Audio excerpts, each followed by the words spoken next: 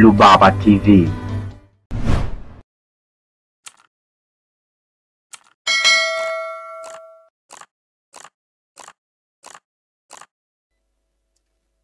Karibu mpenzi mtazamaji wa Rubaba TV, na leo katika kipindi cha leo nadhani kitakuwa ni moja ya kipindi kizuri sana kwa wafugaji wa nguruwe.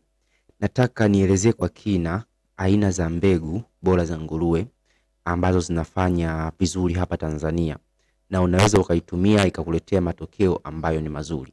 Kwa katika kipindi cha leo utakuwa katika position ya kuweza kujua kila step au kila aina ambayo ni nzuri, lakini sio kuijua tu, tutaweza kufahamu na tofauti zake kati ya aina moja kwenda aina nyingine, ili wewe sasa uwe katika position nzuri. Kama unataka kuanza kufuga nguruwe au unataka kubadilisha ufugaji wako wa kibiashara, basi uwe unajua kwenye upande wa mbegu. Sasa kwa kawaida uh, bila kupoteza muda uh, kitu ambacho tunatakiwa kukifahamu ni kwamba kuna aina nyingi sana za nguruwe hapa duniani.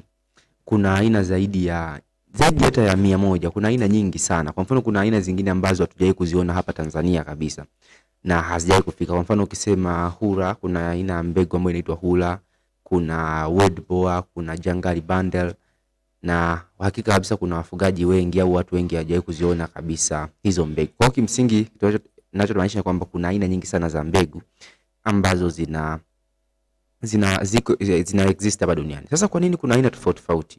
Kama ninavyofahamu kwamba mnyama huwa ana tabia ya kuadapti kulingana na mazingira.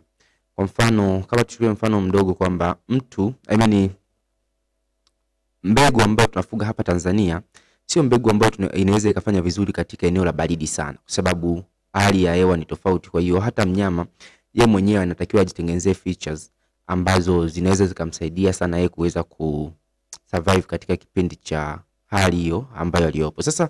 Na hicho ndio maana kunakuwa kuna breed nyingi kulingana na matakwa tofauti tofauti, lakini pia kitu kingine ni kwamba kuna breed nyingi kulingana na matakwa tofauti tofauti, kama nilivyosema kwamba unakuta kuna wengine wanafuga nguruwe kwa ajili ya uzalishaji, wengine wanafuga nguruwe kwa ajili ya nyama. Kuna matakwa tofauti tofauti. Kwa hiyo hata breed, wataalamu wanapokuwa wanafanya breeding huwa wanatengeneza uh, aina za breed kulingana na mahitaji ya soko husika. Sasa kwanza, kitu cha msingi kabla ya kuchagua mbegu au kabla ya kuanza kuchagua aina ya nguruwe unataka kuanza kufuga, kwanza ni lazima ufahamu vitu viwili. Kwanza ni lazima ufahamu eneo lilopo uh, I mean, ulijua eneo lilopo, lakini pia lazima ufahamu uh, unataka kufuga kwa nini. Kwa nini unatakiwa ufahamu hivi vitu viwili? Kwa sababu unapojua eneo lilopo, unapojua hali ya hewa eneo lako, unapojua mazingira yako, inakuwa rahisi wewe kuweza kuchagua aina ambayo inaendana na mazingira yako.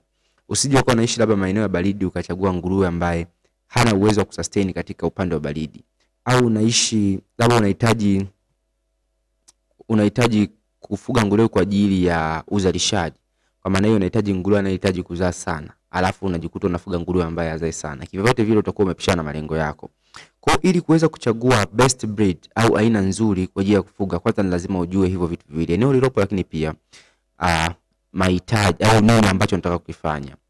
Uh, sasa kwa mfano tena pia ngoja nitoe mfano mwingine. Kwa mfano labda unakuta mtu mwingine anafuga kwa ajili ya nyama. Kwa hiyo lazima utafute aina ya breed ambayo ni nzuri au inasifika kwa ubora wa nyama. Sasa bila kupoteza muda, nitaanza kuzitaja hizi aina za nguruwe, na sio kuzitaja tu, nitazichambua ili uweze kufahamu hii aina ikoje na utofauti wake na aina nyingine.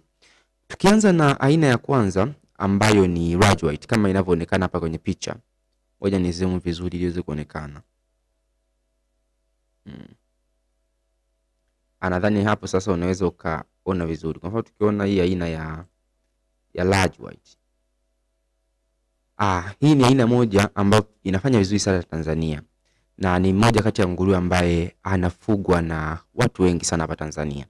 Sasa kwanza tuanze kumjua, utamjuaje huyu large white kwamba hii nguruwe, hii aina ya nguruwe, kabla tujajua sifa zake, uh, utajuaje kwamba huyu nguruwe ni large white? Kwanza large white anakuwa ni mkubwa na ni mweupe anakuwa ni mweupe mwili mzima, kama unavyoweza kuona, anakuwa ni mkubwa sana ukilinganisha na breed zingine, lakini pia anakuwa na rangi nyeupe uh, mwili mzima. Lakini licha ya hivyo ah, huyu large white yeye huwa ana mdomo uliobinuka. Kwa mfano ukiangalia hapa utaona huyu large white ana mdomo uliobinuka. Hata ukiangalia kwa huyu utaona ana mdomo uliobinuka. Lakini pia huwa ana masikio ambayo yamesimama. Tunaita erected eye, erected ears. Ah, kwa ukiona kwa mfano ukiangalia huyu unaona masikio yake yamesimama. Lakini pia ukiangalia huyu pia utaona masikio yake yamesimama. Kwa ili kuweza kumjua uh, huyu kwamba hii aina ya mbegu ni white, kwanza hivyo vitu ambavyo vitakurepresent. Kwanza huwa ni mkubwa, ana umbo kubwa uh, lakini pia anakuwa ni mweupe mwili mzima, lakini pia mdomo wake unakuwa umebinuka sana. Kwa nini sasa hii aina watu wanaipenda na inafanya vizuri Tanzania? Kwanza tunachotaka kufahamu kwamba hii ni aina moja kati ya aina ambayo ni kubwa na anaweza akafika hadi kilo mia tatu kulingana tu na jinsi ambavyo unamlisha, lakini pia kulingana na condition za eneo.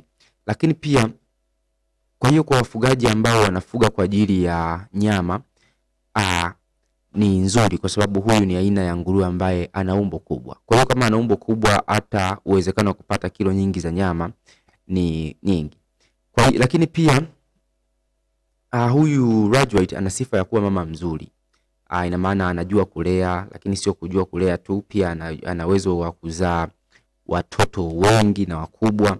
Kwa hiyo kiufupi, ana sifa nzuri za umama. Kwa hiyo kwa mtu ambaye anafuga kwa ajili ya kuuza I mean, ku, ku, kwa ajili ya kuendeleza kizazi au kwa ajili ya kuuza kufanya kuuza watoto au kwa ajili ya kukuza, sio kwa ajili ya kuchinja, basi hii pia mbegu inaweza ikamfaa, kama nilivyosema kwamba anakuwa na kilo nyingi na anaweza akafika hadi kilo mia tatu, lakini pia ni mama mzuri. Kwa hiyo ana uwezo wa kuzaa watoto wengi, lakini ana uwezo wa kuwalea watoto wake, lakini pia ana uwezo wa kuzaa watoto ambao ni wakubwa. Lakini pia ah, hiyo nguruwe ya large white huwa ni mpole. Kwa hiyo pia hata kwa wafugaji wengine ah, sio kwa wale nguruwe ambao anaweza kukujeruhi, kwa sababu ana sifa ya upole yeye binafsi. Sasa hiyo ni baadhi ya sifa tu za huyu nguruwe large white. Ah, kama una swali ndugu mpenzi mtazamaji, hapo kwenye comment utaweza kuuliza zaidi na utaweza tutaweza kukuelezea zaidi, kwa sababu mambo ni mengi, kuna vitu vingi vya kufahamu, na labda kimsingi naweza nikaa sijagusia kile kitu ambacho nahitaji kukifahamu, lakini kama unahitaji kufahamu zaidi, hapo kwenye comment ni sehemu, uliza tu, na sisi wakati mzuri na wakati sahihi tutakujibu. Lakini mbegu nyingine ni mbegu ya Landrace.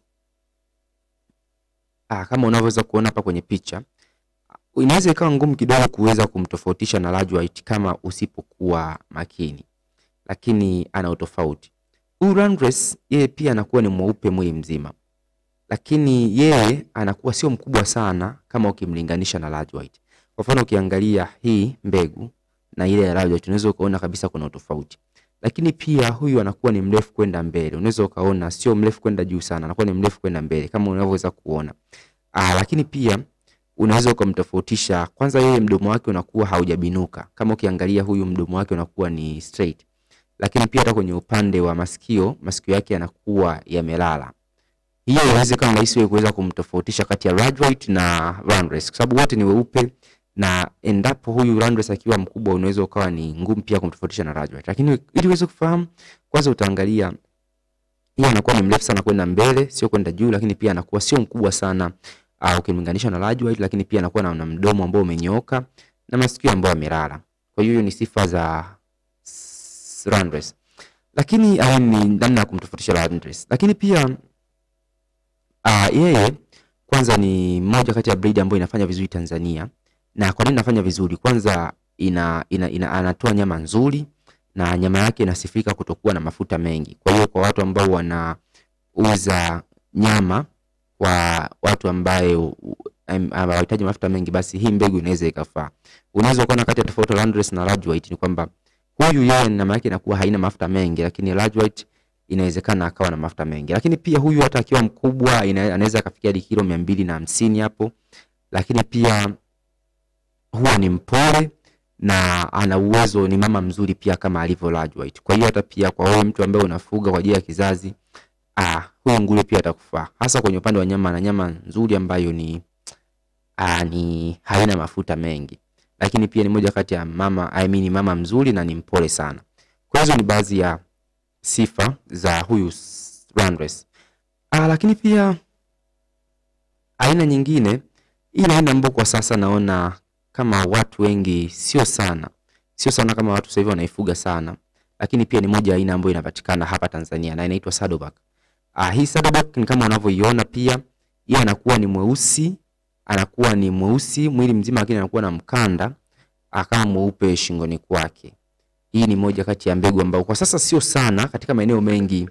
Ah, watu wengi hawaitumii sana, hasa watu wanatumia Raj White, wanatumia na hizi mbegu zingine, lakini pia sasa hivi tunafahamu watu wanafanya cross breeding kwa ajili ya kuweza kupata mbegu ambayo ni nzuri. Tutazungumzia kwa mbele sana, lakini tu kwa haraka haraka ni kwamba pia ah, huyu unaweza kumjua kwamba yeye anakuwa na rangi nyeusi na mkanda mweupe shingoni, kwa hiyo ni rahisi kuweza kumfahamu, na pia ni mama mzuri na ana uwezo wa kuzaa watoto wengi na ni pia ni mpole, lakini pia huyu ni moja kati ya mbegu ambazo zinahimili sana magonjwa ukilinganisha na zingine. Ni moja kati ya nguruwe ambaye ana uwezo mkubwa sana wa kuhimili magonjwa.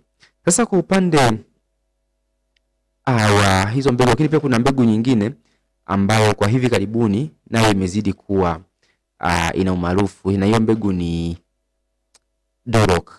Pia ni moja kati ya mbegu ambayo inafanya vizuri hasa kwa wafugaji kwa ajili ya nyama. Ah, huyo ni mmoja kati ya mbegu ambayo inafanya vizuri sana. Lakini kitu ambacho naweza nikakiongezea ni kwamba ili kuweza kupata mbegu ambayo unahitaji zaidi na mbegu ambayo ni bora zaidi ni vyema kufanya cross breeding. Ah, ina maana ninaposema cross breeding inamaanisha kwamba lazima uchanganye kati ya mbegu na nyingine ili kuweza kupata sifa ambayo ni bora zaidi. Kwa mfano, ah, ukichanganya mbegu labda ya Large White ukachanganya na mbegu ya Duroc utapata sifa mbili. Utapata nguruwe ambaye ni mkubwa, lakini pia ana nyama nyingi, lakini pia kwa sababu ya Duroc anaweza akawa na moja ya nyama bora, kwa sababu tunafahamu nguruwe Duroc pia ni moja kati ya nguruwe ambaye ana nyama bora. Kwa hiyo ukifanya hiyo mixture, mixture au ukafanya hiyo cross breeding, unaweza kitaalam ni kwamba ili uwe kwa ni hicho tu ambacho nitaka nikuelezee kwa leo. Ina maana nitaka nikuelezee tu baadhi ya mbegu ambayo zinafanya vizuri hapa Tanzania, na tumesema kuna Raj White Uh, kuna Saddleback, kuna Landrace lakini pia kuna Duloc. Japokuwa kuna mbegu ambazo ni nyingi nyingi nyingi, lakini kwa haraka haraka tu hapa tumetaja mbegu ambazo ma, ni ma, zina, zinafanya vizuri katika maeneo mengi sana. Hizi zingine zipo, lakini sio kwamba zinafanya vizuri sana. Kwa hiyo kama ni mfugaji uh, unaweza ukaangalia ni mbegu ipi ambayo itakufaa zaidi, lakini pia kama una swali lolote usiache kutafuta hapo, na sisi tuko tayari na tuko ready kuweza kukusaidia. Mimi ni Imani Rubaba na hii ni Rubaba TV. Mpaka wakati mwingine, asante.